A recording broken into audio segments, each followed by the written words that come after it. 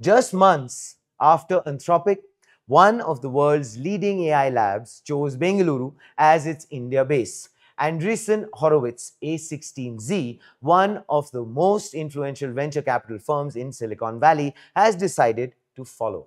The firm will set up its first India office in Bengaluru, marking a major strategic shift in how the world's top VCs are engaging with India's deep tech and AI ecosystem. San Francisco based general partner Anish Acharya will oversee the hiring of the local investment team, which will focus on early stage AI, SaaS, and deep tech startups serving global markets. The office will begin with a lean two member team to build the India deal pipeline, but its presence actually signals something much bigger.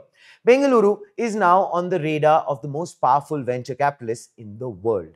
A16Z has historically invested cautiously in India.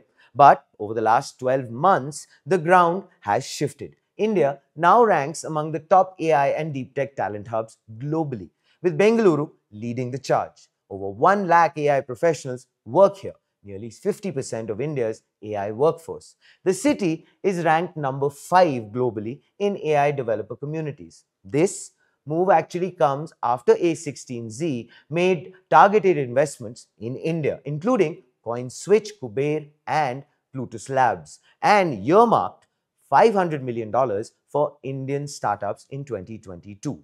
So basically, with Anthropic, OpenAI, Google DeepMind, Snowflake, and ARM all expanding in the region, A16Z's presence completes a very powerful triad talent, capital, and frontier innovation.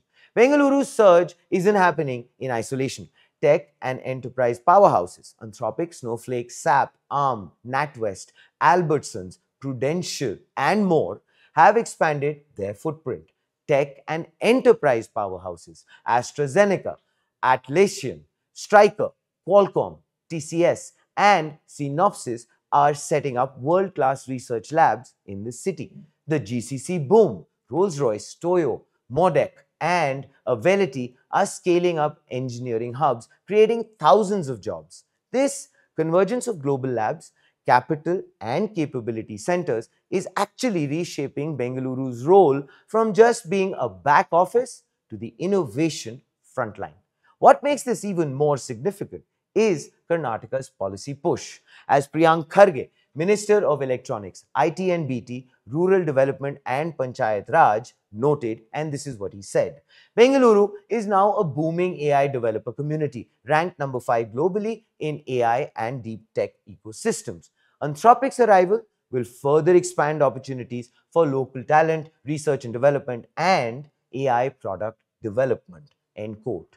With state-backed initiatives like LEAP, grant in aid support for deep tech startups, and a new skill development policy, Bengaluru is building the kind of infrastructure that attracts both AI labs and global venture capital.